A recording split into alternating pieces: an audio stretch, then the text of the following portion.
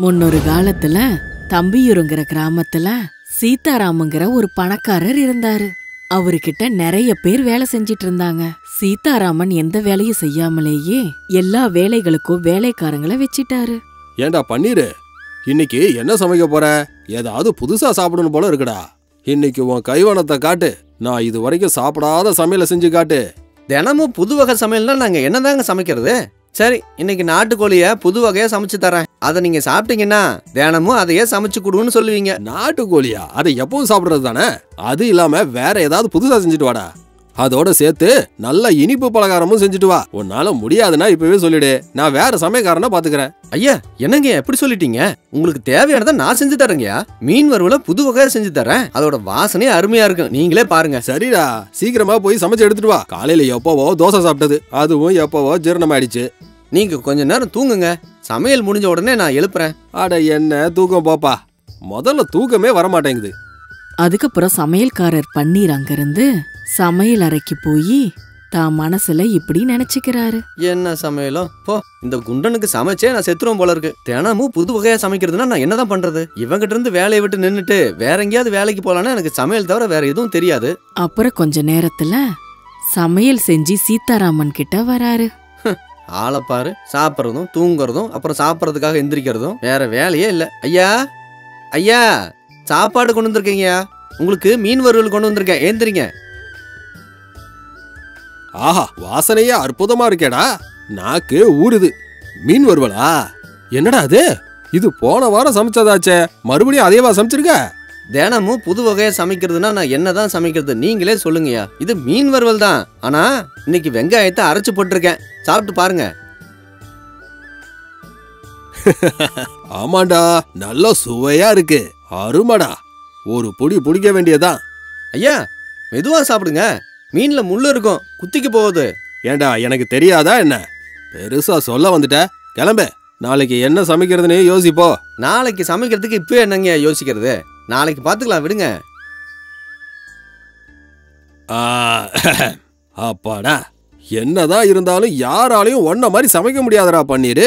நல்லா சுவையா இருந்ததுனால ஒரு நாலு புடி அதிகமாவே சாப்பிட்டுட்டேன். வயிறு தான் கொஞ்சம் வலிக்கிற மாதிரி இருக்கு. எங்களுக்கு ஒரு துண்டு கூட மிச்சம் வைக்காம எருமை மாடு மாதிரி சாப்பிட்ருக்க வயிறு வலி வராம என்ன பண்ணும்? ஐயா கொஞ்சம் வெத்தலை போட்டுக்கங்க ஐயா. சீக்கிரம் ஜீரணமாயிடும். சரி நீ போய் அந்த ஆனந்தனை வர சொல்லு. அதுக்கப்புறம் பன்னீர் அங்கிருந்து போய் வரவு செலவு பாக்குற ஆனந்த் கிட்ட வந்து சொல்றாரு. ஏன்பா ஆனந்து வயல்ல வந்த லாபத்தெல்லாம் கொண்டு வந்திருக்கியா? எங்க காட்டு எவ்வளவு வந்திருக்கு? ஐயா மொத்தம் மூவாயிரம் ரூபாங்கய்யா. இந்தாங்க எல்லா விவரமும் இதுல இருக்கு. ஆ ஆ, நீயும் உன் கணக்கு அது யாருக்கு வேணும்? பணம் கொடுத்துட்டல கிளம்பு. ஐயா இந்த மாசத்துல இருந்து சம்பளம் ஏத்தி தரேன்னீங்களே அதை உங்களுக்கு ஒரு தடவை ஞாபகப்படுத்தலான்னு. ஆ ஆ, ஞாபகம் இருக்கு.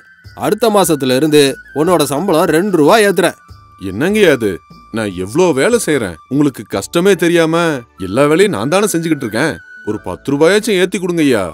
நான் ரொம்ப சந்தோஷப்படுவேன். என்ன? பத்து ரூபாயா?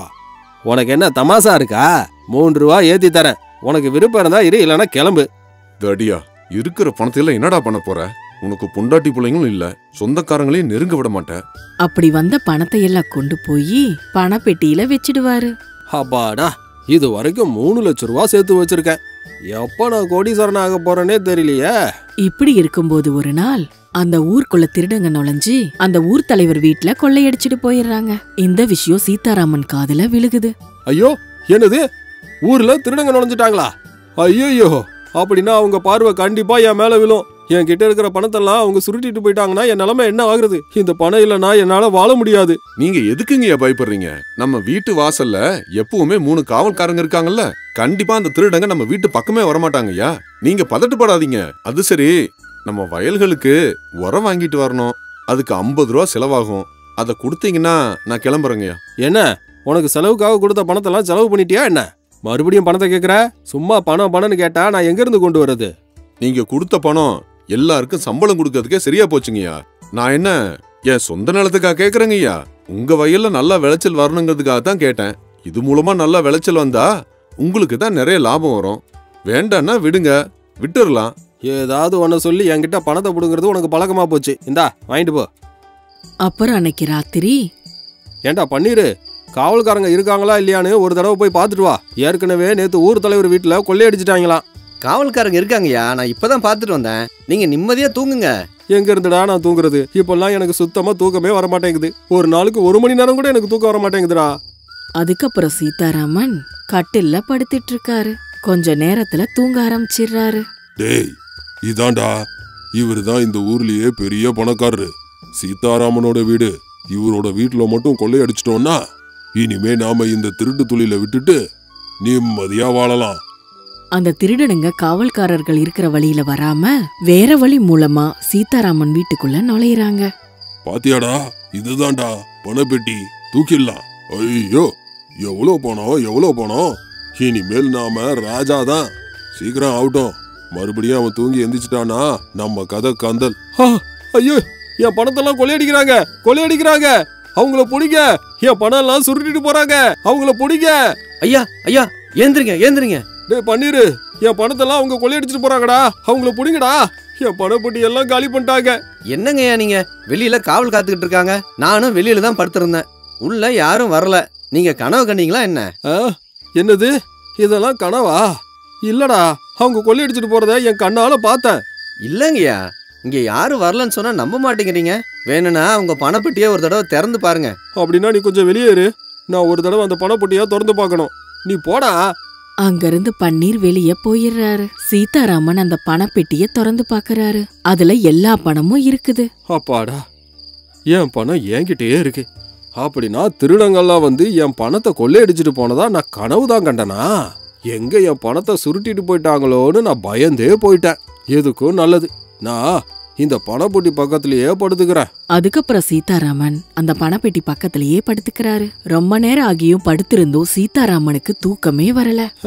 என்னதான் நான் தூங்கலான்னு முயற்சி பண்ணாலும் தூக்கமே வர மாட்டேங்குது இதுல வேற இந்த திருடங்க தொல்லை. அப்படியே அந்த ராத்திரி முழுக்க அங்கேயே அங்க இங்கேயுமா சுத்திட்டு இருப்பாரு. விடிஞ்சு போயிடுது. அவங்க வீட்டு எதிர்ல ஒரு ஏழை விவசாயி இருக்காரு. அந்த விவசாயி பேரு அசோக. அவரோட மனைவி பார்வதியோட வாழ்ந்து வந்தாரு.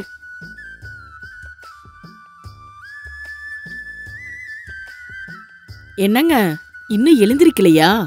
விடிஞ்சு ரொம்ப நேரம் ஆச்சு எழுந்திருச்சு தண்ணி எடுத்துட்டு வாங்க. நீங்க வயலுக்கு வேற போகணும்ல? என்ன பார்வதி? நல்ல தூக்கத்தை கெடுத்துட்டியே. இன்னைக்கு நீ போய் தண்ணி எடுத்துக்கிட்டு வாயேன். அந்த காவடி தூக்கி தண்ணி எடுத்துட்டு வர்றது என்னால முடியுமா சொல்லுங்க. கொஞ்சம் முகத்தை கழுவிட்டு போங்க. நீங்க திரும்பி வரதுக்குள்ள நான் உங்களுக்கு சமைச்சு வச்சிடுறேங்க. அப்புறம் நீங்க வயலுக்கு போங்க. நமக்கு ஏதோ பத்து ஏக்கர் நிலம் இருக்கிற மாதிரி சொல்ற? நமக்கு இருக்கிறது ஒரு ஏக்கரு. அதுக்கு அவ்வளவு சீக்கிரமா ஒன்றும் போக தேவையில்லை. அப்படின்னு சொல்லி பானைகளை தோல்ல சுமந்துக்கிட்டு தண்ணீர் எடுக்கிறதுக்காக போறாரு. இதையெல்லாம் எதிர் வீட்டுல இருந்த சீதாராமன் கவனிச்சிட்டு இருக்காரு ஆஹா அந்த அசோகனை பாத்தியா? எவ்வளவு நிம்மதியா தூங்குறான்னு. அதுலயும் பொண்டாட்டியோட எவ்வளவு சந்தோஷமா இருக்கான். அவன்கிட்ட பார்த்தா ஒரு சல்லி காசு கூட இல்ல. ஆனாலும் இவ்வளவு சந்தோஷமா எப்படி இருக்கான்? என்கிட்ட இவ்வளவு சொத்து இருக்கு. வீட்டில் வேலைக்காரங்க இருக்காங்க. நான் ஒரு வேலை செய்ய தேவையில்ல.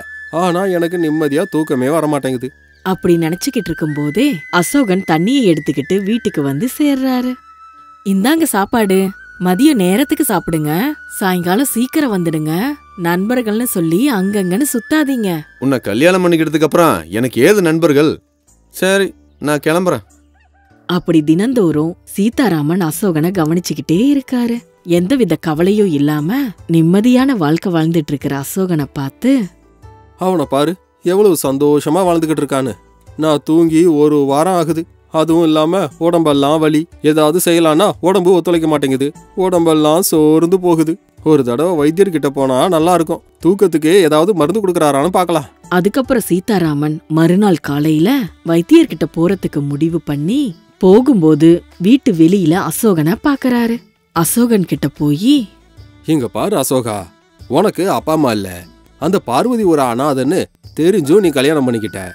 உன்கிட்ட பெருசா சொத்து கூட இல்ல. ஆனாலும் நீ ஆனந்தமா ரொம்ப சந்தோஷமா வாழ்ற. அது உன்னால எப்படி முடியுது? ஐயா நீங்க பெரிய பணக்காரங்க. அதுவும் இல்லாம உங்ககிட்ட நிறைய வேலைக்காரங்க இருக்காங்க.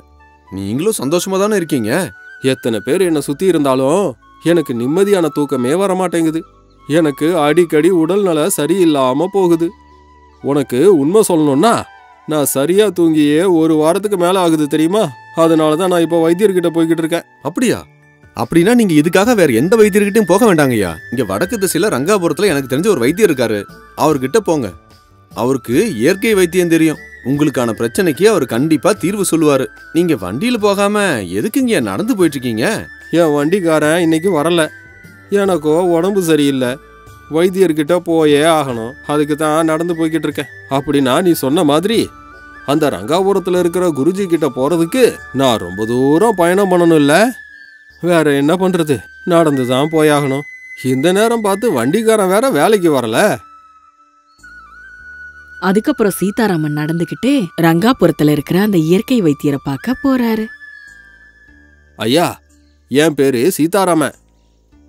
ம். இங்க பாரு சீதாராமா உன் பிரச்சனை எனக்கு புரியுது. இன்னைக்கு மதியம் ஆகி போயிடுச்சு. நான் இப்போ உனக்கு வைத்தியம் பார்த்தாலும் அது உனக்கு வேலை செய்யாது. நீ நாளைக்கு காலையில சூரியன் உதிக்கிறதுக்கு முன்னாடியே நீ இங்க வரணும்.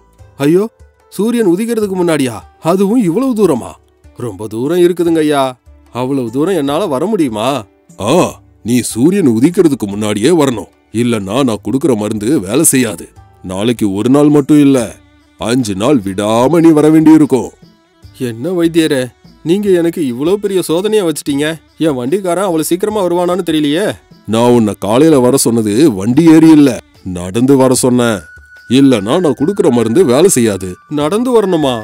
என்னால முடியாது. இன்னைக்கு வண்டிக்காரன் வரலங்கிறதுக்காக நடந்து வந்தேன். என்னாலலாம் தினந்தோறும் அங்கிருந்து இங்க வரைக்கும் நடந்து வர முடியாது. நீ விடாம ஒரு அஞ்சு நாள் வந்து பாரு. நீ இங்க எந்த பிரச்சனைக்காக வந்திருக்கியோ அதெல்லாம் குறைக்க வேண்டியது என் பொறுப்பு. மறுபடியும் அந்த நோய் உன்னை நெருங்கவே நெருங்காது. இன்னொரு விஷயம். நான் எதை சொன்னாலும் நீ அதை மறுக்காம செய்யணும். அதுக்கு உனக்கு விருப்பமா இருந்தா மட்டும் இங்க வா. வைத்தியரே ஐயா நீங்க இவ்வளவு தூரம் சொல்றதுனால என்னால மறுக்க முடியல. என் கஷ்டம் எல்லாம் குறையுங்கிற நம்பிக்கை எனக்கு இருக்கு. அந்த இயற்கை வைத்தியர் சொன்ன மாதிரியே மறுநாள் காலையிலேயே எழுந்து அந்த வைத்தியர்கிட்ட வராரு. ஆ வந்துட்டியா சீதாராமா? நீ என்ன பண்ற? அங்க போய் அங்க இருக்கிற ஆத்துல குளிச்சிட்டு வா. நான் வீட்லயே குளிச்சுட்டு வந்துட்டேன் வைத்தியர் ஐயா ஆனாலும் பரவாயில்ல இந்த ஆத்துல குளிச்சிட்டு வா. அப்பதான் உனக்கு என்னால வைத்தியம் பார்க்க முடியும். அப்படி அந்த வைத்தியர் சொன்ன மாதிரியே சீதாராமன் போய் ஆத்துல குளிச்சிட்டு வராரு. அவர் திரும்பி வந்து பார்த்தா அந்த வைத்தியர் அங்க இல்ல. என்னது இது? என்ன ஆத்துல குளிச்சுட்டு வர சொல்லி இவர் எங்க போயிட்டாரு? இங்க தான் எங்கேயாவது இருப்பார். அப்படி கொஞ்ச நேரம் கழிச்சு அந்த வைத்தியர் அங்க வராரு. ஐயா நீங்க ஏதோ எனக்கு வைத்தியம் பார்க்கறேன்னு சொன்னீங்க. ஏற்கனவே ரொம்ப நேரமாச்சு. எனக்கு ரொம்ப பசிக்குது. வீட்டுக்கு போகணும். மருந்து கொடுத்தீங்கன்னா நான் கிளம்பிடுவேன். சீதாராமா இன்னைக்கு தானே வைத்தியத்தை ஆரம்பிச்சிருக்கேன். நீ போய் இன்னைக்கு வந்த மாதிரியே நாளைக்கும் காலையில வா.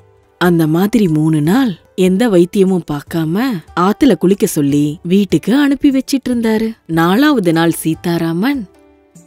என்ன வைத்தியரே? நீங்க நாலு நாளா? சூரியன் உதிக்கிறதுக்கு முன்னாடியே என்ன இங்க வர சொன்னீங்க. கடைசியில இங்க வந்தா ஆத்துல குளிக்க சொல்லிட்டு அனுப்பிடுறீங்க. ஆத்துல குளிக்கிறதா இருந்தா எங்க ஊர் ஆத்துலயே குளிச்சிருப்பனே. இவ்வளவு தூரம் எதுக்காக வரணும்? இங்க பாரு சீதாராமா. நீ நேத்து எத்தனை மணி நேரம் தூங்குன? நான் நேத்து நாலு மணி நேரம் தூங்கின வைத்தியரையா? பாத்தியா? உனக்கு சுத்தமா தூக்கமே வர்றதில்லைன்னு சொன்னேன். ஆனா நாலு மணி நேரம் தூங்கியிருக்க. அதுலயும் இந்த நாலு நாள்ல உனக்கு சூரியன் உதிக்கிறதுக்கு முன்னாடியே எந்திக்கிறது பழக்கமாயிடுச்சு. நான் உனக்கு வைத்தியம் பார்க்கறதுக்கு நாலு நாளுக்கு முன்னாடியே ஆரம்பிச்சிட்டேன். ஆமா வைத்தியர் ஐயா நீங்க சொல்றது உண்மைதான். தூங்குனது நாலு மணி நேரமா இருந்தாலும் நான் ரொம்ப நிம்மதியா தூங்கினேன். அதுலயும் இங்க வந்தப்ப இருந்த வயித்த வலி முதுகு வலி உடல் சோர்வு எல்லாம் பறந்து போச்சு. உன்னை முதல்ல பார்த்தப்பவே நான் தெரிஞ்சுக்கிட்டேன். உனக்குள்ள எந்தவித பிரச்சனையும் இல்லைன்னு. நீ உன்னுடைய சொந்த வேலையும் அடுத்தவங்கள வச்சு செய்ய வைக்கிற. காலையில சூரியன் உதிக்கிறதுக்கு முன்னாடியே எழுந்து இவ்வளவு தூரம் நடந்து வந்ததுனால உன் உடல் கஷ்டப்படுறதுக்கு பழகி போயிடுச்சு. அதுலயும் பிரம்ம முகூர்த்தத்துல தூங்கி எழுந்திருக்கிறவங்களுக்கு பாதி நோய் அப்படியே பறந்து போயிடும். நீ சாப்பிடுற உணவும் அளவோட சாப்பிடு. அப்படி பண்ணுனா இனிமேல் உனக்கு எந்தவித வைத்தியமும் தேவையில்லை. வைத்தியரே நீங்க சொன்னது எனக்கு நல்லா புரிஞ்சு போச்சு. ஆ அப்புறம் இந்தாங்க. உங்க வைத்தியத்துக்காக நான் கொடுக்கற பணம். இந்த பணம் நீ உழைச்சி சம்பாரிச்சதா? அப்போ இந்த பணம் எனக்கு வேண்டாம். ஆனாலும் இப்போதைக்கு நாலு நாள் தான் ஆகுது. உன் வைத்தியம் இன்னும் முடியறதுக்கு இன்னும் ஒரு நாள் மிச்சம் இருக்கு. நாளைக்கு காலையிலயும் இன்னைக்கு வந்த மாதிரியே வா. நாளைக்கு ஒரு நாள் மட்டும் நான் சொன்னபடி நீ செஞ்சன்னா உன் நோய் முழுசா குணமாயிடும். அப்படி அஞ்சாவது நாள் சீதாராமன் காலையிலேயே எழுந்து வைத்தியர்கிட்ட வராரு. இத பாரு சீதாராமா. இங்க பாரு. இங்க ஒரு பழக்கூடம் இருக்கு. இதோட விலை பத்து ரூபாய் இத பன்னெண்டு ரூபாய்க்கு வித்து அந்த பணத்தை என்கிட்ட கொடு. ஞாபகம் வச்சுக்க. இதெல்லாம் நீ கஷ்டப்பட்டு வித்து அந்த பணத்தை என்கிட்ட கொடுக்கணும். அதுக்கப்புறம் சீதாராமன் அன்னைக்கு முழுக்க சந்தை முழுக்க சுத்தி அதை வித்து அதுல வந்த பணத்தை வைத்தியர்கிட்ட கொடுக்கறாரு. சீதாராமா இந்த வேலைய உன்னை எதுக்காக பண்ண சொன்னேன்னு தெரியுமா? நீ உன் உடம்புக்கு எந்த வேலையும் கொடுக்கறதில்ல. நீ உன் வேலையை எல்லாம் வேலைக்காரங்களை செய்ய சொல்லாம நாளையில இருந்து உன் வயல்ல என்ன வேலை நடக்குது? உன் வரவு செலவு கணக்கெல்லாம் சரியா போகுதா இல்லையா? அப்படிங்கறத நீ கூட இருந்து பாத்துக்க. இன்னொரு விஷயம். உனக்கு பணத்து மேல பேராசை இருக்கிற வரைக்கும் உனக்கு சரியா தூக்கமே வராது. நீ அதை குறைச்சிட்டு கஷ்டப்படுறவங்களுக்கு உதவி பண்ணிக்கிட்டுரு ரொம்ப நன்றி வைத்தியரையா. உங்க மூலமா எனக்கு உடல் உழைப்பை பத்தி நல்லா தெரிஞ்சது. இனிமேல் எனக்கு நல்லா தூக்கம் வரும். இனி நான் பணத்துக்கு பேராசைப்படாம கஷ்டப்படுறவங்களுக்கு நான் உதவுவேன்னு உங்களுக்கு வாக்கு கொடுக்குறேன். அன்னையிலிருந்து சீதாராமன் சூரியன் உதிக்கிறதுக்கு முன்னாடியே எழுந்து பணத்து மேல இருந்த பேராசைய விட்டுட்டு கஷ்டத்துல இருக்கிறவங்களுக்கு உதவி பண்ணிக்கிட்டு தான் வேலைகளை தானே செஞ்சுக்கிட்டு நிம்மதியான வாழ்க்கைய வாழ்ந்துட்டு வந்தாரு.